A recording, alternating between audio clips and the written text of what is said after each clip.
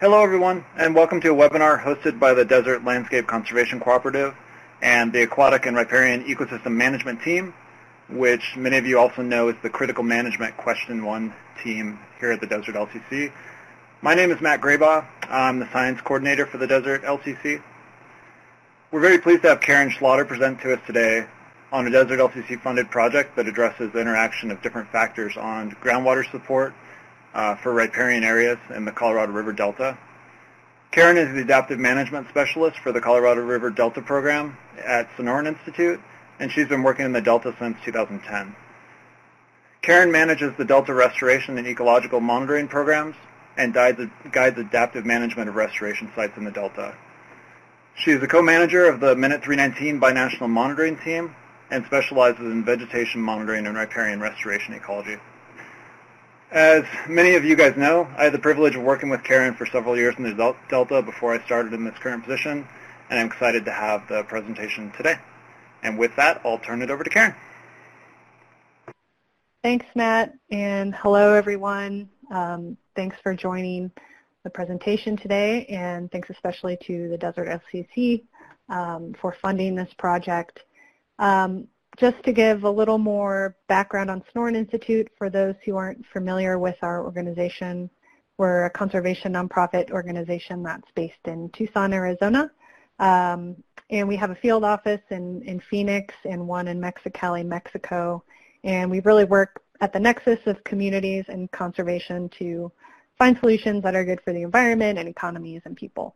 Um, and as Matt said, uh, we have a long history of working in the Delta. We've been working there for the last 20 years and um, started restoration in about 2006. So this project is, is a really interesting one because it's allowing us to sort of um, predict how future impacts of climate change or changes in water management might affect remnant riparian habitat and uh, restored riparian habitat that's, that's in the Delta.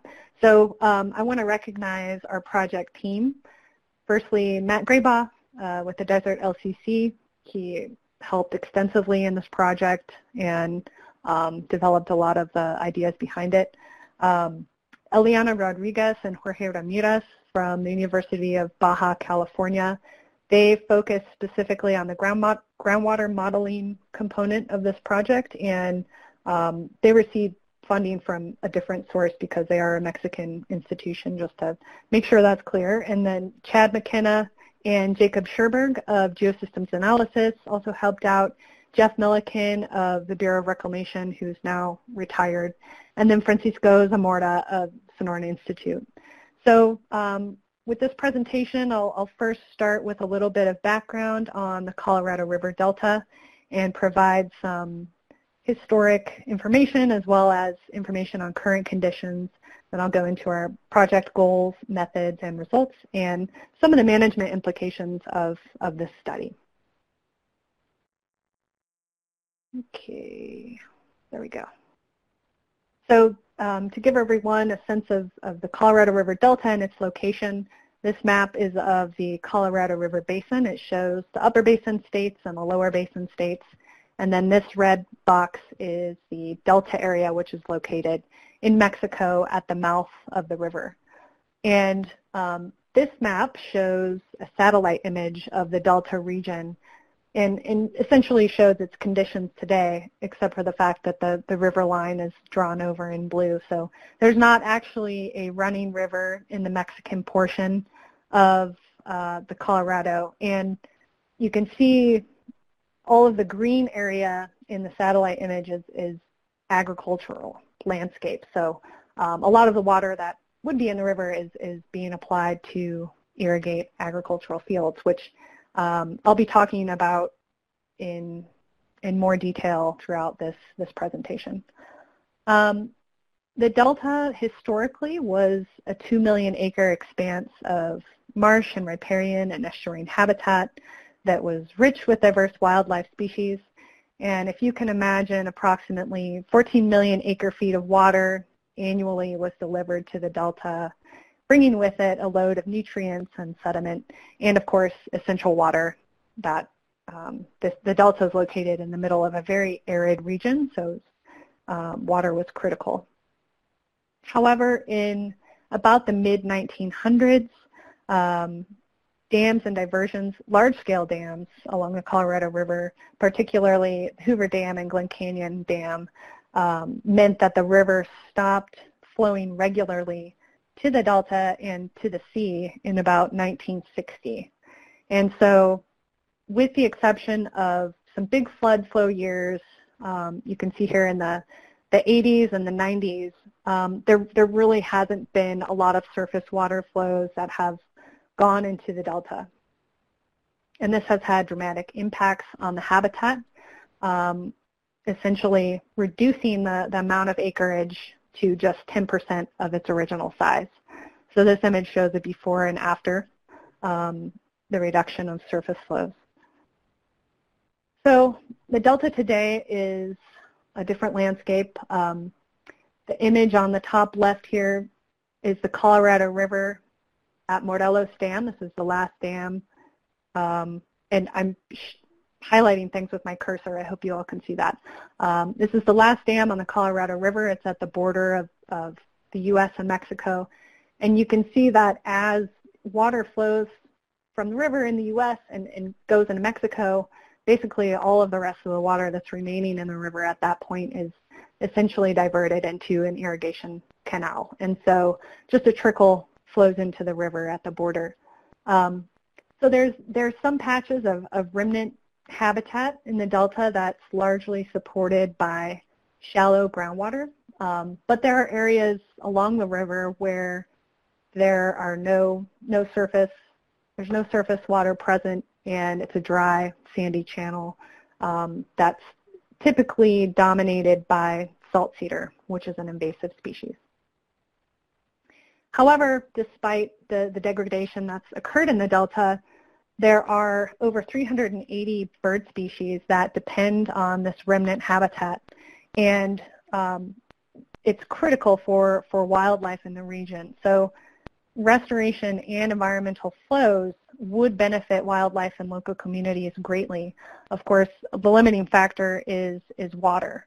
Um, surface flows to the region in the 80s and 90s, which I was showing in the, the chart showing flows over time, did regenerate a lot of habitat, um, which kind of awakened scientists and environmental groups to the idea that habitat in the delta is resilient and, and there is potential for restoration. Um, the, the key component, of course, is securing water for the region and, and then doing implementing restoration actions on the ground. Which brings me to Binational Agreement Minute 319. This was an agreement that was made in 2012 between the U.S. and Mexico, and it was the first time in history that water was dedicated for ecological flows to the river um, in Mexico, and it was actually uh, the first transboundary water allocation for environmental purposes in the world. So this was a huge landmark agreement, um, very exciting. And the total water that was that is to be delivered over the course of the term, which is a five-year term, um, is about 158,000 acre feet. One-third of those flows is to be delivered as base flows, and two-thirds of those flows are to be delivered as a pulse flow. And the pulse flow was already delivered in the spring of 2014, perhaps. Some of you heard of that event. Um, and just to clarify, when I talk about a pulse flow, I'm talking about kind of a high magnitude release of water that's really meant to create new habitat and scour banks and, and allow seeds to germinate.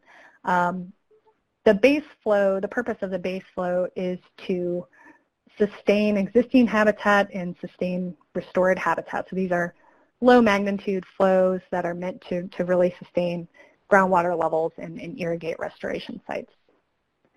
So um, with the potential new agreement coming at the end of this year, so Minute 319 expires this year, um, and considering all of the investments that have been made into restoration in the Delta, um, we're kind of at a critical point in, in assessing, you know, what is the sustainability of this habitat and making sure that it's protected into the into the future. So we're expected to have more than 750 acres of riparian habitat restored by the end of this year and 900 by the end of 2018 in the Delta. Um, considering our, our financial and, and, water resources that we're investing, you know, we, we want to think about um, groundwater dependent habitat in arid regions and uh, considering the lack of surface flows and uncertainty with impacts of ongoing drought and water scarcity, how vulnerable is this habitat to water management changes and in climate change? So now I'm going to get more into the project specifics and focus in on our study area and, and really look at kind of a reach-by-reach basis of the Colorado River in Mexico because the ecohydrological conditions are pretty variable along the river in Mexico and in particular groundwater conditions. And um, this has significant ramifications for existing habitat and uh, restoration efforts. So this map shows the Colorado River divided up into seven reaches. The first reach starts at uh, right below Morelos Dam, again the last dam of the Colorado, and reaches one and two are actually, they form the border between the U.S. and Mexico. The river is, is actually the border in those reaches. Um, reach three, I'll show some pictures in a little bit, is essentially the dry reach. There's not water in that reach. Um, reach 4 is, and Reach 5 are what's considered the central delta region, and it's the location where we have a lot of existing restoration sites due to more suitable groundwater conditions. Reach 6 is located on a tributary of the Colorado in Mexico, the Hardy River, and then Reach 7 is, is the estuary region. So I just want to take you through um, some aerial images of each reach just to give you an idea of this variability that I'm talking about. This is reach one, which is located just below Morelos Dam, where we still have some seepage from, from the dam that's supporting riparian habitat and you know, providing some surface water in the river channel. And you can see in this image some cottonwoods and, and mesquite and marsh areas. When we get to reach two, um, any surface flows that were coming from the dam are non-existent. And here we start to get into an issue of, of extremely deep groundwater tables. Um, and you can see the dry, sandy channel um, and uh, tamarisk on either side of the channel, or salt cedar. Reach 3 is um, essentially more of the same or even worse. The, the depth of groundwater in this reach is uh, extremely deep, and there's there's even the, the salt cedar is less dense in this area because the groundwater conditions are, are not very favorable. When we get into reach four, however, um, we start to see some surface water present in the river channel, which this is the, the center channel going through here is actually the river channel, the main, main stem. And then we also have these old oxbows of the river which have been disconnected over time, um, that our restoration efforts were reconnecting the channel and, and um, restoring habitat along these, these old oxbows. But you can see, again, here we have some remnant riparian habitat that's, that's being sustained largely by shallow groundwater tables due to agricultural return flows. Um, without these return flows, uh, groundwater table would, would look very different. And so um, this is this region is the central focus of our, our current restoration efforts.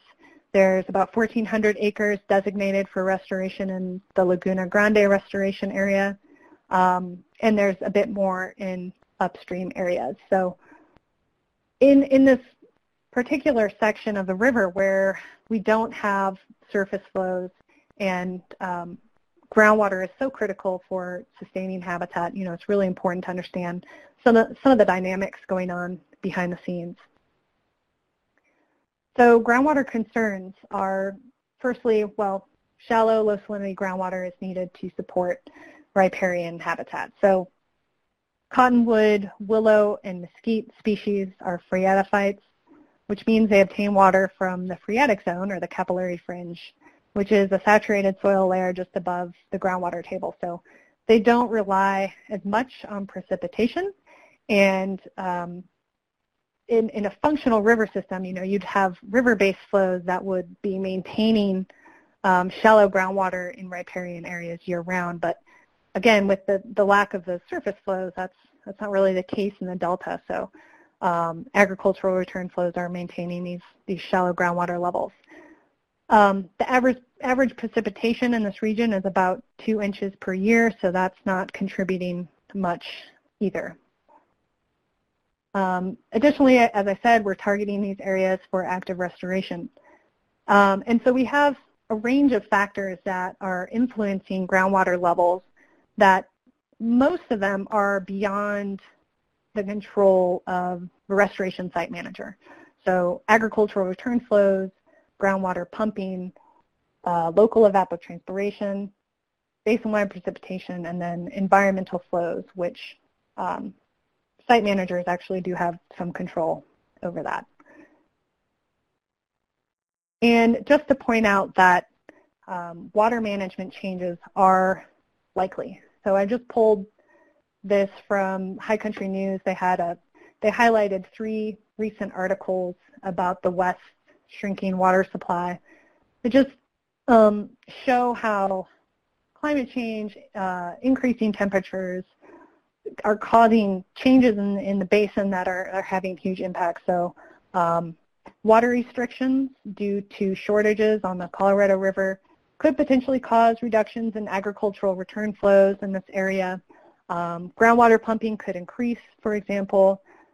Uh, evapotranspiration rates could in increase. And just to clarify, evapotranspiration is water evaporation from land surfaces and, and transpiration from plants. Um, so we could have increased evapotranspiration rates due to increasing temperatures or changes in vegetation cover. Um, could have less precipitation. And so with all of these, these factors, our, our habitat that's reliant on groundwater is becoming increasingly vulnerable. So just to show our, our current study area, which is reach 4 of the, the Colorado River in Mexico, um, this map shows our network of piezometers in reach 4, and actually there are, there are more piezometers than this map shows now. We installed some more on our restoration sites, but um, these are the piezometers that we use data from in REACH 4 for this project. So just to give you an idea of what's currently going on in terms of groundwater monitoring, we're, we're looking at groundwater levels and salinity. We have a network of about 32 piezometers in REACH 4, and they're mostly focused in the Laguna Grande area. And the Laguna Grande area actually includes these three restoration polygons. These are land concession areas for restoration. So it includes Sila, Laguna Cori, and Laguna Larga. So these all make up the Laguna Grande area. And then we have Chausse Restoration Site, which is a bit further upstream. Um, so, so right now, I mean, we are using results from, monitor, from our monitoring efforts to look at effects of irrigation and environmental flows and adaptively manage restoration sites. But modeling was really needed to predict potential future impacts of groundwater decline on habitat. And so our project goals were to um, firstly do an analysis of historic and current conditions. So we used literature values, on-site observations, uh, remote sensing results to establish groundwater depth thresholds for riparian plants in the delta. Um, secondly, we, we refined an existing groundwater model to predict mean monthly groundwater depths under different input combinations based on realistic drivers. And then thirdly, using the results from the first two parts, so using our groundwater thresholds that we developed that are delta specific or even reach 4 specific, um, and then combining those with our, our groundwater model outputs, then we predict the extent of groundwater support for potential riparian habitat under the different scenarios. Um, so we define riparian habitat as including aquatic, cottonwood, willow, and mesquite cover types. And um, just one small note too is that we we use this project to predict groundwater support essentially in, in the times between pulse flow events. So we didn't take into, into account any data from the pulse flow event or uh, historic um, surface flow events because we, we really wanted to focus more on um, this time when, when the groundwater and base flows are, are sustaining habitat. Um, so that's a little side note. Okay, so getting now into the first component, our groundwater threshold analysis. The goal of this analysis was really to correlate our, our pre-pulse flow groundwater elevations with the locations of remnant riparian vegetation to determine specific groundwater thresholds for different habitats, habitat types in the delta. And um, there are, of course, you know, numbers out there in the literature. Um, we did this analysis for mesquite and cottonwood willow habitat types because these are a bit more variable in the literature and, and it tends to be a little more site specific as to what these thresholds are. Um, we didn't conduct this analysis for marsh or open water as these are more well defined and less site specific. So um, looking at our methods, we, we first did a review of a lot of different data from 2005 to 2014 and reach for to look at trends and determine the period with the greatest depth of groundwater so we could start to um, hone in on those, those thresholds. And then for this, we ended up using uh, 25 piezometers with historic data between 2005 and 2007, and that, that was the, the deepest groundwater period for those piezometers. Um, using that data set, we then found the maximum groundwater depth for each piezometer during the peak of the growing season. So that included the months of May through September. And then we created a groundwater, depth of groundwater interpolation based on these values. Um, fortunately, we, we had a great resource available to us through existing vegetation maps of REACH 4 that were based on um, 2014 LIDAR data and spectral imagery that Jeff Milliken at the Bureau of Reclamation created as part of the, the Minute 319 monitoring effort. So that was extremely helpful, um, and we were able to overlay, sorry, overlay that vegetation data with um, our groundwater interpol interpolation. Um, and we, we had both canopy level scale classifications and then Anderson-Ohmart structural level classifications as well for the vegetation maps. Um, and so using that overlay of the vegetation and our groundwater surface, we were then able to assess the relationship between depth of water and vegetation. Um, and then we, we used statistical analyses to determine that relationship. We used an occupancy analysis that was binned by 0.5 meter intervals depth of groundwater and then normalized our results. Um, and just to show an example of, this is one of the, the piezometer transects for the year 2006, and um, just showing the, the trend of groundwater in this area. So there's a very seasonal trend that is very much in accordance with the agricultural irrigation um, calendar. So you have the highest levels um, around May, which is when there's peak irrigation, and then lowest levels actually in November. Um, but then within when we it in the, the growing season, our, our peak, or sorry, our maximum depth of groundwater during the growing season was actually in September, which is represented with these yellow triangles. Oh, and that shows the location of, of that transect, which is right in the heart of the Laguna Grande restoration site. Okay. So now looking at some results from our groundwater threshold analysis. Um, this is showing the relative frequency or occupancy of cottonwood and willow within these different depth of groundwater categories. And what we found is that relative occupancy of Cottonwood Willow, it stayed above the 50% line up to 2.5 um, meters depth of groundwater. So you have the kind of a threshold there. And then with Mesquite, it stayed above 50 up to 4 meters depth of groundwater. So using this information and then also considering um, the restoration site design criteria that we're currently using in, our, in Sonoran Institute's restoration sites, um, we determined that we would use 2.5 meters depth of groundwater for the threshold for cottonwood and willow and 4 meters for mesquite. So um, this was a, a, good exercise that essentially validated our, our restoration um, site design criteria as well with, with actual vegetation and, and historic groundwater data um, from, from the specific area. Now getting into the groundwater modeling component, and again, um, the University of Baja California did the, the groundwater modeling of this project. Um, they used an existing groundwater model that Eliana Rodriguez created in 2011.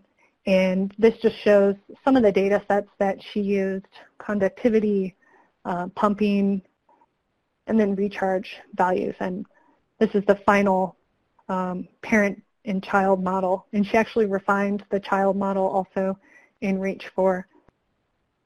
So that's the final model domains. And then now getting into more complicated part of determining what our model inputs would be and how we would vary those based on um, given the, the, drivers that we wanted to consider. So um, all of our input categories on the left here are factors that impact groundwater. Um, instead of having a, dif a different input level for each specific driver, we decided to simplify the modeling and reduce the number of scenarios by, by kind of combining similar drivers that could cause increases or decreases from a baseline level for each input category. So, for example, um, with agricultural return flows, we, we used a baseline that was determined um, from the literature values and, and using um, data from CONAGUA, which is the, the National Water Commission in Mexico. Um, we had an amount of 20% return of the 2005-2006 agricultural deliveries. Increased was 30% of that return and the decrease was 15% of that return. And I'm going to present the actual volumes um, for these inputs in the next slide. So what can be causing those, those increases and decreases could be, for example, um, irrigation efficiency projects where there's canal lining that could actually you know, decrease the amount of, of water that's being recharged to groundwater and available to, to riparian species. Um, land fallowing or also water transfers out of a basin. Um, there could be changes in crop type, which would actually potentially increase agricultural return flows if, they, if farmers need to apply more water. Um, and then ground pump, groundwater pumping could also be a decreaser. For riparian corridor ET, um, we use estimates developed and used by the, the Bureau of Reclamation for lower Colorado River water accounting, um, and then tweaked those based on um, estimates of, of ET reduction by uh, defoliation of salt cedar. If the, the salt cedar beetle arrives to the delta, which is it is supposed to do in the next five to 10 years, um, we included that as a, a factor that could decrease ET. Um, for in, increased ET, we considered uh, changing over salt cedar habitat to native riparian habitat. Um, so there could be uh, you know, changes in vegetation cover which would cause increases in ET. Um, in also increases in temperature could cause uh, increased ET values. So um, looking at our environmental flow deliveries component, these values were based on um, essentially volumes that could potentially be observed in the next binational agreement. And um, one thing to note is that the, for the none category, this is not actually the baseline as we are including, or we are currently using, um, applying environmental flows to restoration sites. So in this case, there isn't a baseline. We have just a none category for, for environmental flows because we wanted to be able to observe um, what the impacts of that would be and, and, and what that would look like. So um, increases or decreases could be caused by water leases, um, purchase availability, drought or water, short, water shortage conditions, or infrastructure limitations.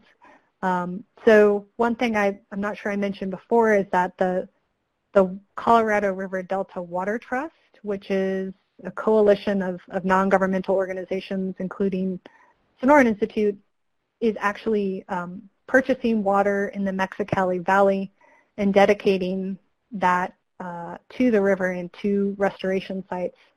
And there, the Water Trust is actually um, the third party in the agreement of Minute 319 who is on the line to provide uh, water to the delta in the form of, of the base flow. So, sorry, I should have mentioned that before in the introduction, but um, one thing to note is, is that um, the, the Delta Water Trust is would basically be applying these amounts that we're seeing in the um, environmental flow delivery category. And then looking at our upstream subsurface flow category, we have, um, for the baseline we used pre-2014 upstream groundwater levels, and again, the, the 2014 was the pulse flow delivery, so this is just before a pulse flow. Um, decreased upstream subsurface inflow, we use the lowest upstream groundwater levels in data record, and then increased, we used 2014 to 2015 upstream groundwater, groundwater levels. And for this category, we're, we're basically just talking about um, any subsurface flows that are coming in from upstream of Reach 4. So factors that could influence this component are um, similar for uh, agricultural return flows, but just applied upstream. So any groundwater pumping that's going on upstream, uh, reduced agricultural flow application, upstream environmental flows, or extreme weather events could affect this category. Okay. And um, I'm not going to get into the details of how each, um, how we developed actual values for each for each model input, but I do want to show um, some of the, the curves for vegetation ET, and show um, how we, we kind of came to these um, values for this particular input, just because it's kind of neat. So um, this, this graph shows monthly evapotranspiration for three cover types. Um, the non-salt cedar slash salt cedar that's cover, converted to riparian habitat is one of them. The second one is just salt cedar, and then the third one is defoliated, defoliated salt cedar. That would be um, if, if the salt cedar beetle arrives and defoliates salt cedar. And to get these monthly estimates, we, we use the back, back of the envelope calculations and basically applied percent reduction by month that was taken from the literature. Um, we applied those to delta ET rates to get um, a monthly ET estimate. And so what we can see um, is that basically from May on through November, we can see that salt cedar beetle is affecting um, ET and actually when you have uh, riparian habitat or non-salt cedar, um, those have a higher monthly ET rate. This curve um, is just showing cumulative evapotranspiration in acre feet. So um, what it's saying is that salt cedar beetle, beetle effects aren't too significant in terms of actual acre feet uh, of water that's going to be reduced um, with defoliation. whereas with corridor enhancement, we're actually going to see um, a bit more water use as compared to baseline salt cedar cover. So that's, that's just one um, example of how some of these inputs were developed. Uh, we spent a lot of time and Matt spent a lot of time and, and research looking into um, a lot of these factors. So uh, you can definitely look at our full report if you want more information on, on any of these things, including uh, more information on, on the model specifically as well. Um, so as promised, here are the model inputs showing uh, the actual volumes for each input level. Um, and this table is interesting because you can, you can just see the difference in magnitude of these inputs. For example, agricultural return flows, when we look at a difference from baseline to increased, we can see that there's a difference of nearly 11,000 acre feet. Um, we go from increased to reduced, that, that difference is close to 20,000 acre feet. So there's a, a big magnitude uh, as compared to riparian corridor changes, which are on the scale of, you know, three, 3,000 acre feet. Um, environmental flow deliveries are, are more comparable to the agricultural return flows. Um, so just, just to give you an idea of the actual, the volumes that we're talking about here. And also just to note that the volumes for riparian corridor ET are um, not the actual input volumes for the model uh, since we applied them based on a fractional cover of, of vegetation for each model cell, but um, not getting into those details. So now moving on to uh, our scenario selection. So looking back at our matrix here, we had four input categories with three input levels each. That's a total of 81 different combinations and 81 scenarios. So we did not have the time or the money to do to run all 83 of those scenarios through the model.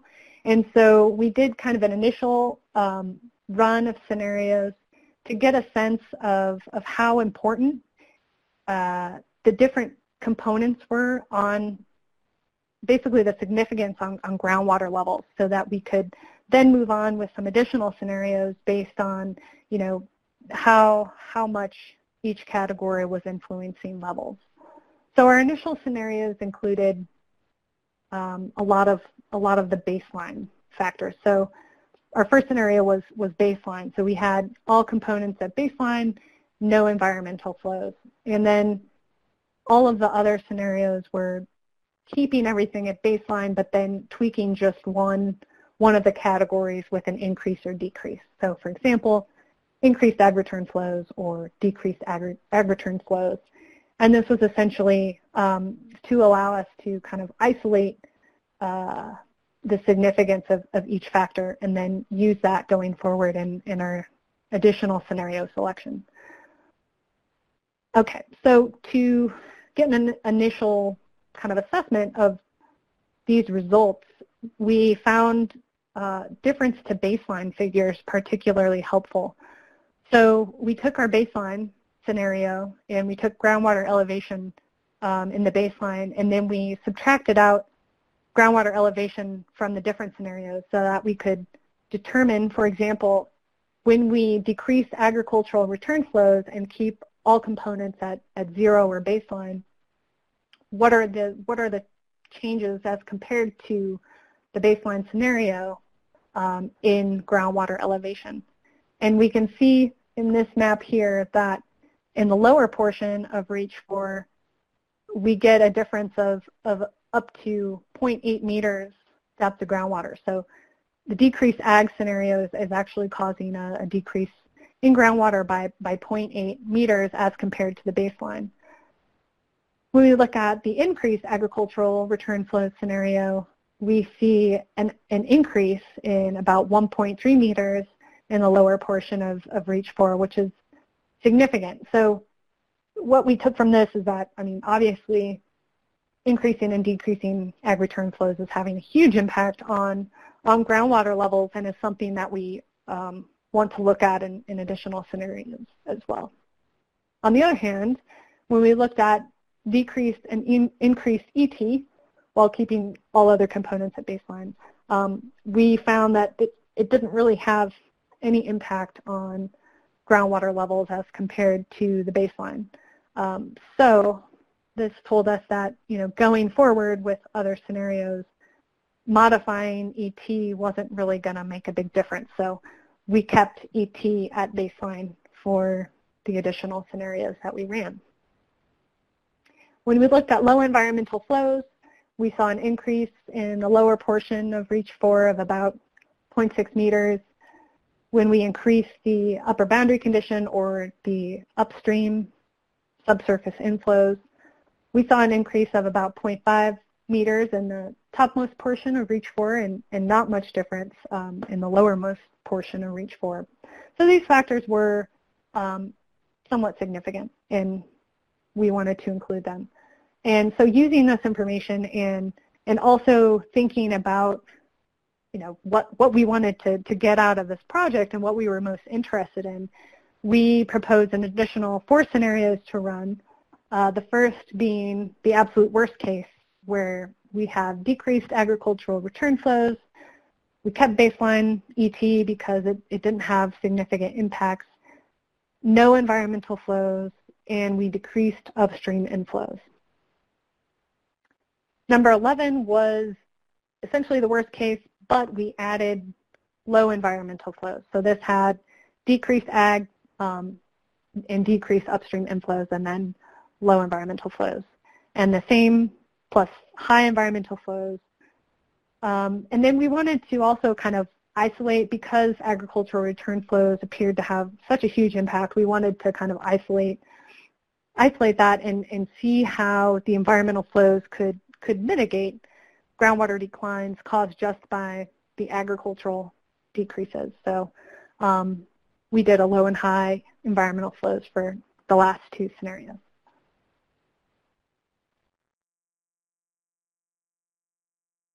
Okay, so to analyze our model results, we looked at um, the mean monthly groundwater elevation for each model cell, um, and then we subtracted the ground surface using our LIDAR data to obtain the depth of groundwater, um, and we specified it was for the month of, of, September because this was the maximum depth during the grow, growing season.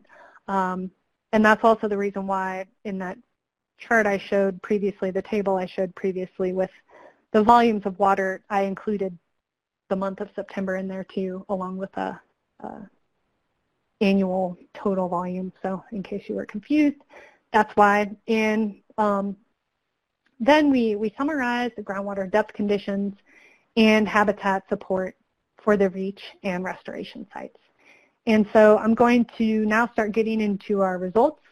Um, we have a variety of ways that we looked at these results, and um, I'm just going to be talking through each of those. So this graph shows depth of groundwater um, in, in 0.5 meter increments, and it shows the cumulative percent of the land area in reach 4 that falls within each of those categories.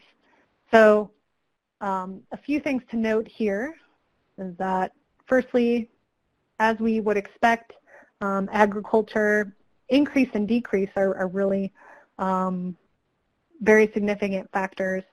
Um, when we look at the uh, worst case scenario, which is this purple line here, which also has increased upstream inflows, it's not really that much different than the, the decreased ag scenarios or decreased ag scenario.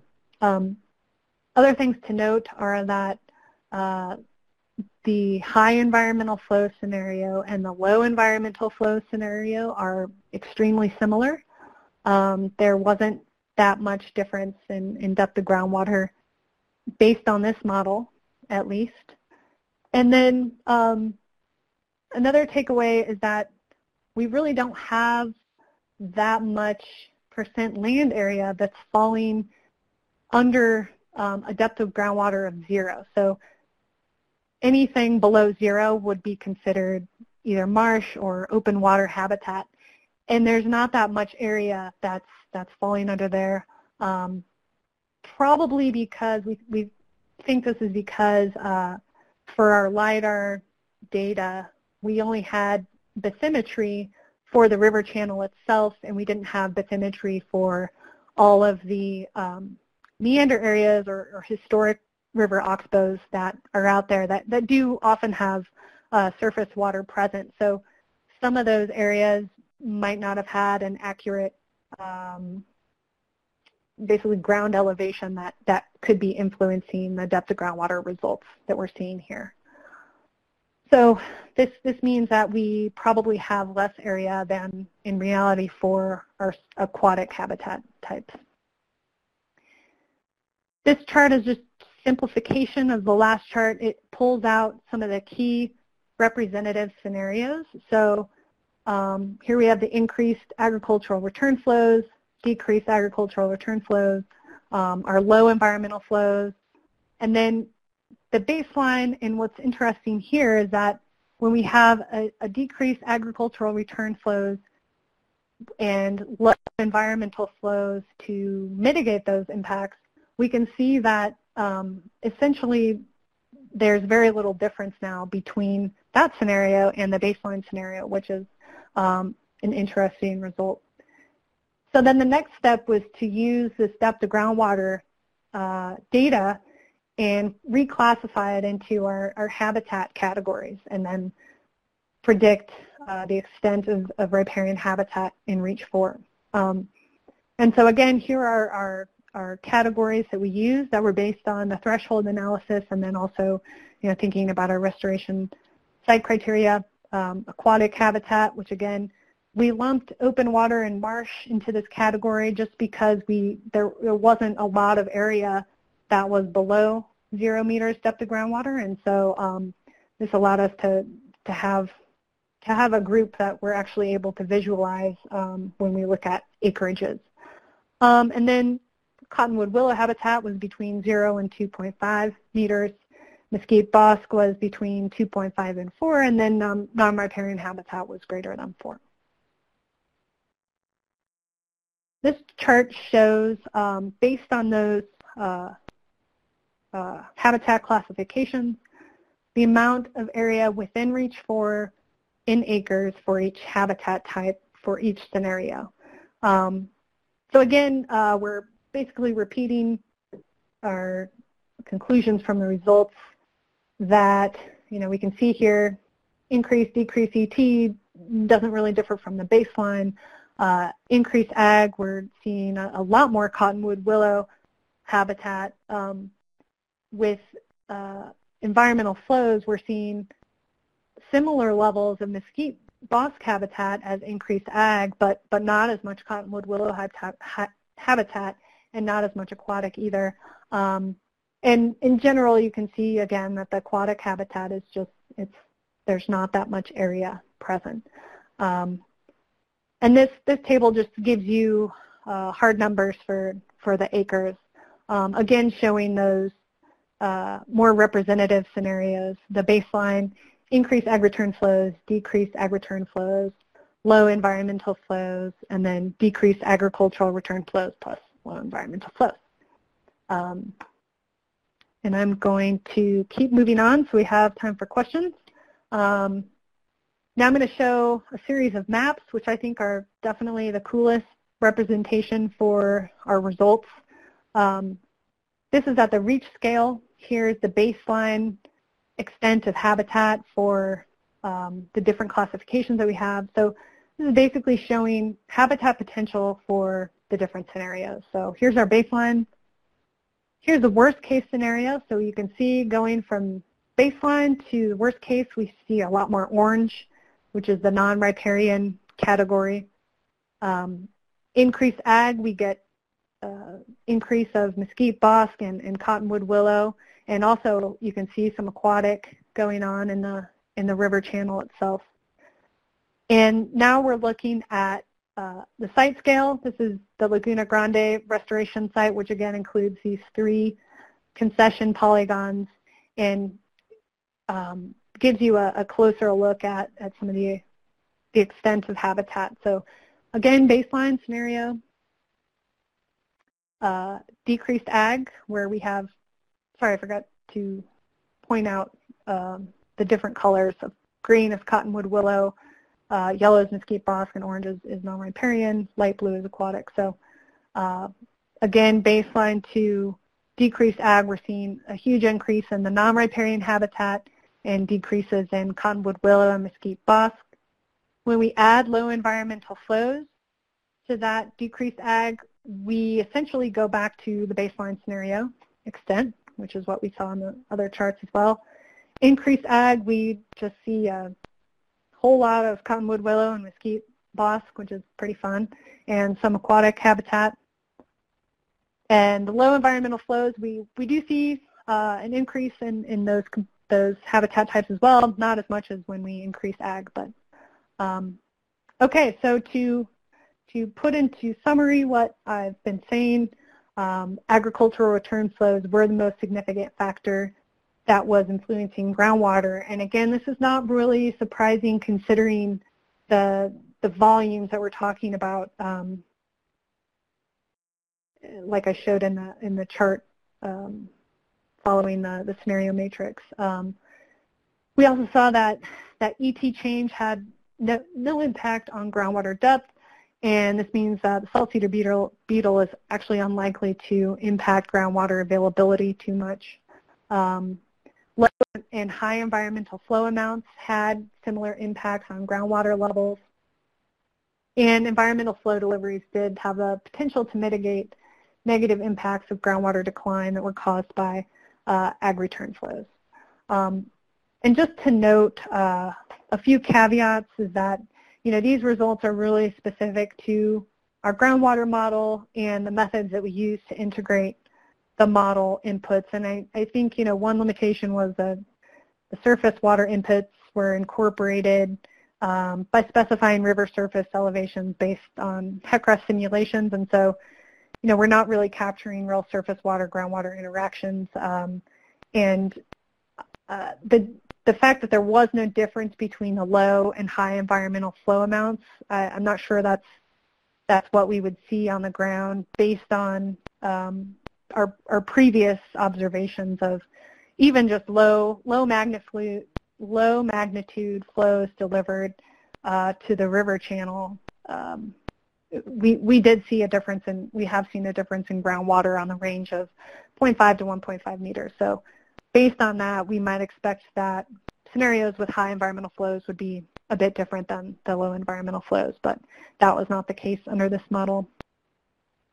Um, and then again, you know, with, with the lack of, of change based on the lack of groundwater level change from ET inputs, this is likely due to the fact that it's just the volume that we're talking about uh, going from increased to decreased scenarios is is of much lesser magnitude than, let's say, for example, the, the changes in ag return flows. So, okay, now um, to conclude, uh, when we look at cottonwood willow habitat as compared to the mesquite bosque, we, we see that it's slightly more resilient to groundwater decline caused by ag return flow decreases. Um, so, you know, mesquite bosque was, was decreasing uh, at a greater extent than, than the cottonwood willow habitat when we reduced uh, groundwater levels.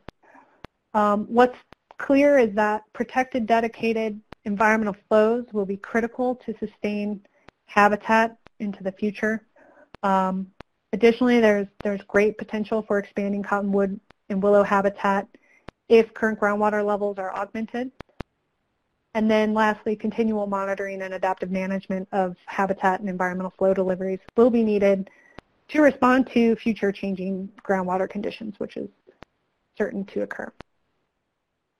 And uh, thinking beyond just the delta and you know reach 4 in the delta and applying this to other areas, um, we can certainly use this information for restoration planning, including site selection and long-term irrigation needs. Uh, it can be used to maximize benefits of future environmental flows and mitigate potential negative impacts of climate change and reduced ag agricultural return flows. And then this is a great example of, of how data and modeling could be used to inform binational water policy. So if, if a new agreement is made, this data could uh, help to inform an environmental flow delivery plan um, in the future. And then lastly, it's important to, to use an adaptive management framework to, to test out flow volumes and delivery points in the future. So with that, um, I want to acknowledge our funders, the Desert Landscape Conservation Cooperative and our match funder, the Lincoln Institute. And then the last three here are, are folks that helped uh, provide information for the study. Um, so thank you very much, and we have a few minutes for questions. Great, thank you, Karen. Thank you for the presentation. Um, you know, environmental flows are something that we're especially interested in um, in the Desert Landscape Conservation Cooperative, and uh, appreciate the, the results of this project. Uh, we do have a few minutes for questions, and uh, we have a couple coming in already. Um, if folks have additional questions, feel free to put those in the chat box. Um, Karen, the first question was um, uh, some confusion on our definition of environmental flows for the Delta. Can you can you recap uh, again what we're considering considering environmental flows, and then maybe how those were included in the model? Yes. So um, we considered environmental flows in the delta to be pulse flows, which is a high magnitude flow um, that's probably more infrequently delivered, at least for the delta. Um, a base flow can be low magnitude flows that are delivered either directly to the river channel to with the purpose of sustaining riparian habitat, or they can be delivered to um, the old river oxbows where there's habitat, uh, remnant habitat there as well.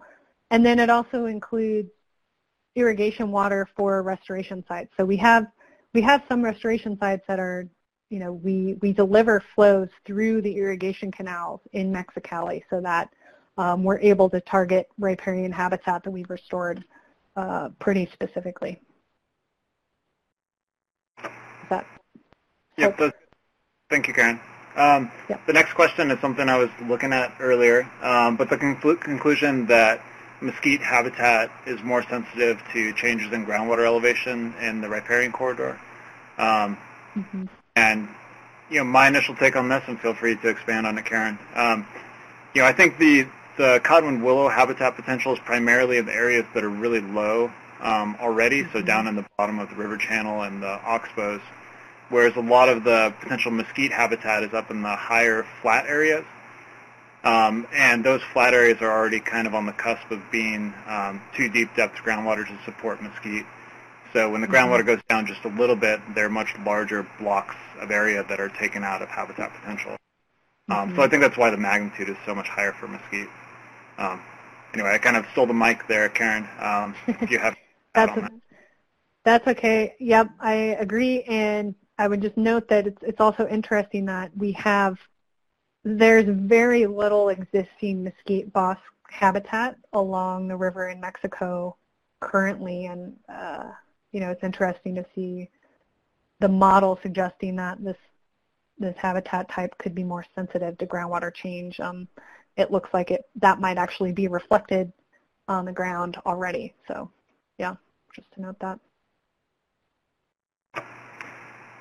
Okay, thanks, Karen. Um, give it another minute for questions if anybody else has anything in the chat box. Uh, Dale Turner chimed in also about the question for Mesquite, and hopefully that covered it. Um, Karen, maybe if you toggle back to the baseline versus low flow habitat potential, um, you can kind of see where that change happened. Um, we'll get there. Um, and while you're playing with that, Karen, um, another question is uh, not necessarily directly related, but are you aware of a resource or website where we can get water quality data for the upper Sea of Cortez? Um, and the question, I guess, is more specifically related to um, how environmental flows can impact health in the estuary. Mm-hmm. Um, we we are working with various groups and we're working ourselves to collect data on um, water quality in, in the upper estuary. Um, the the flows from the Colorado River uh, often don't don't really make it down to the estuary, so um, it's kind of an unrelated topic. But um, there's definitely flows from the Hardy River and uh, agricultural drains that are, are flowing into the, the estuary, and, and we do have, have data on that. Um, so whoever asked that question, I can talk more with that person about accessing that data later. Great. Thanks, Karen. Yeah, I agree. I think the whole estuary water quality issue is a, would be a great webinar in itself. Um, next question is from Julia Fonseca. Um, Karen, something that we talk about all the time, um, but Julie is asking if we have some remarks about agricultural efficiency programs and agricultural fallowing. Um, like its impacts on on habitat specifically, or I, like so I think programs that are going on right now, or um, I think it's a relatively open-ended. So it was just some remarks okay. efficiency programs and ag fallowing. Okay, so my interpretation will be that um, there are some ag efficiency projects planned for the Mexicali Valley. Um, they were actually supposed to be part of Minute 319 and they, they haven't happened yet. I'm not sure what the timeline is for those at this point, but but I think you know it, it's probably fair to say that that's going to happen in the future. Um, I will say though that uh, I'm talking specifically about a project that's going to be a canal lining project. I will say that agricultural irrigation uh, efficiency in the Mexicali Valley is already quite efficient. So um, I think there's like 10% uh, percolation or, or, loss versus like 40% in um, the uh, Central Valley in California. So, um, and Matt, correct me if I'm wrong here, but um, it's already uh, fairly efficient. Um, despite despite that, I think we do need to be planning for potential projects down the line that, that could negatively impact or you know decrease groundwater levels, particularly in the central delta region, and, and then you know have impacts on on habitat there. Right, and um, Karen, you know I can't not chime in on this issue, so briefly, um, you know uh, I think a lot about agricultural efficiency and impacts on riparian areas. Um, and one of the unique things about the Delta, I think, is that uh, when we present this, we're talking about how um, inefficient agriculture is actually benefiting the riparian ecosystem, which right. throws a lot of people off. Um, and it's, you know, taken me a little while to figure out how to have that discussion. I think the question really is with agricultural efficiency projects, uh, the question is what is done with that water that is saved through the efficiency improvement projects.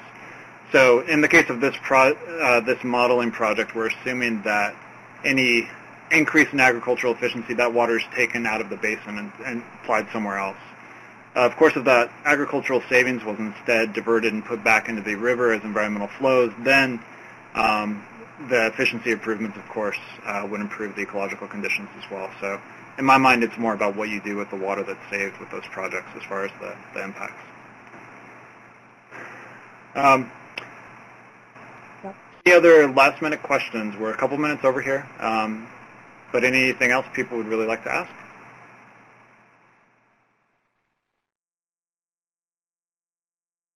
All right. Without, I don't see anybody else typing, so I think we'll go ahead and end it here. Um, I want to thank you all again for attending this presentation. Uh, Karen, thank you for leading us through the webinar. Really appreciate it, and I'm glad to see um, some useful uh, products coming out of this project. As a quick reminder, uh, this webinar will be available on the YouTube um, site um, within a week or so, and we'll send out an announcement once that link is live as well. And with that, uh, thank you all again. I hope you have a great day.